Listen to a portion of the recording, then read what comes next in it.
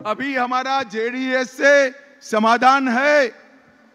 तो रेवन्ना का सीडी आया।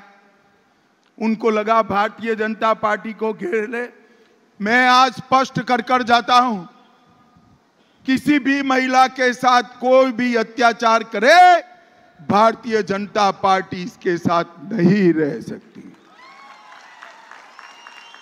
सुन लो सिद्धरामैया जी, डी के शिवकुमार जी। सरकार आपकी है, कांग्रेस पार्टी की है। कदम उठाना था तो आपको उठाना था। आपने जब तक वोकल लिग्गा बेल्ट का चुनाव न हो, कोई कदम नहीं उठाया, राजनीति करी, उनको भागदार जाने दिया। अरे हिम्मत है हिम्मत है तो सच बताइए, आपके कारण जघन्य अपराध करने वाले भाग गए हैं।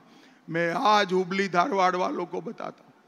भले हमारे साथी हो, हमारा स्टैंड स्पष्ट है, जो इस प्रकार के कृत्य करता है, कठोर से कठोर सजा उनको दिलानी चाहिए, देर नहीं करनी चाहिए। भाई और बहनों, ऐसे भयंकर अपराध में भी ये राजनीति कर रहे हैं।